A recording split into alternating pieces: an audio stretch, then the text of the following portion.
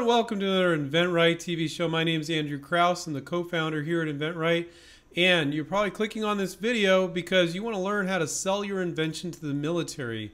And I'm going to say something here that's going to confuse you a little bit, but you're going to get it.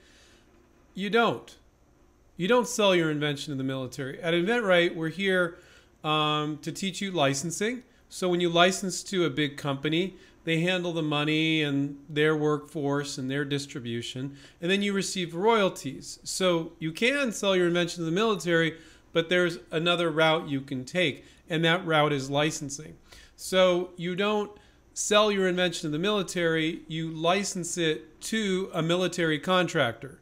So there's contractors they make windshields and backpacks and gun holsters and all sorts of different things.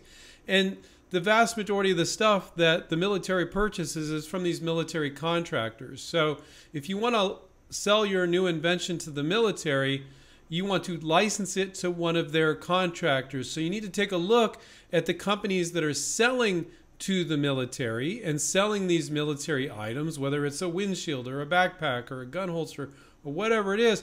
And those are the companies you're going to license to because, see, they have the connection with the military. Maybe the military's already bought a bunch of stuff from them before because that's what they do. It's the same thing when you're licensing a consumer product. You don't license to the retailer, you license to the companies that sell to the retailer. So it's kind of similar in that way, but a little bit different. So you don't, it's, it's very, um, yes, if you want to manufacture the product and sell it yourself, there are different mechanisms. And I saw some articles online that I looked up before this, but most of you don't have the money to start your own business, at least uh, half a million, million dollars to get started selling to the military. I mean, I mean, if you're going to start a new business, a manufacturing company, and make things in bulk and then try to sell them to the military, that is a massive endeavor. And most of you don't have the money or the bandwidth or want to take that sort of risk. So to license it, to the military is greater, but you don't license to the military, you license it to the contractor that sells to the military. So I get this question really frequently, and I was noticing a lot of people were searching it on Google as well. And so it's not complicated.